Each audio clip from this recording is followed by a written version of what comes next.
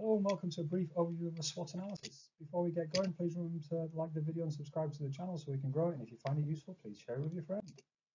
So what is a SWOT analysis? Very basically, a SWOT analysis is an overview of you, you as a company and where you fit in the bigger marketing environment. So it looks at your internal factors and your external factors. And we look at the positives and negatives, hence the little plus and minuses. So if it's an internal positive, it's a strength. It's an internal negative, that's a weakness. If it's an external positive, that's an opportunity. And if it's an external negative, that's a threat. This is where some people do it wrong.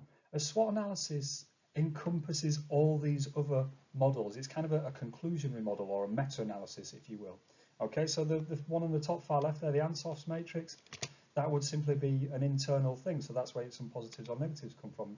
Your business model canvas on the second to the left there, same again, it's an internal model, so that's where some strengths or weaknesses. Your good old marketing 4Ps, internal model, so it creates strengths and weaknesses. Your McKinsey 7Ss, internal analysis, so it creates you know your positives and negatives. Your macro environment, such as your pest, is external, so your pest will create your your opportunities and your threats because it's an external positives and negatives. Your Porter's five forces, once again, external because it's a micro analysis, so that creates your opportunities and threats.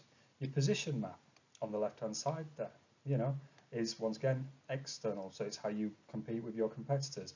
So therefore it's either positives or negatives. And then finally again, compet competency analysis or gap analysis as it's sometimes called. Same again, is an external model so it can bring you strengths and weaknesses. So as I said, a SWOT encompasses all of those models. If you don't know any of those models, there are videos linked on my YouTube channel, so all of those models highlighted there.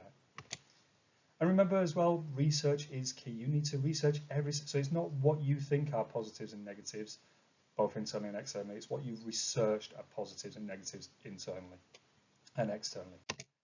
Why do we do it? Simply triangulation. You've got to know where you are to know where you're going.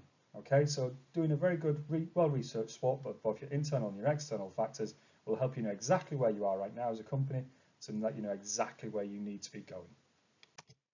As I said, guys, if you've got this far and you, you know you enjoyed the video, please do like it and subscribe to the channel so I can grow it. Let me know in the comments if there's any other videos you'd like me to do. And as always, share with your friends to you know share the knowledge. See you on the next video, guys.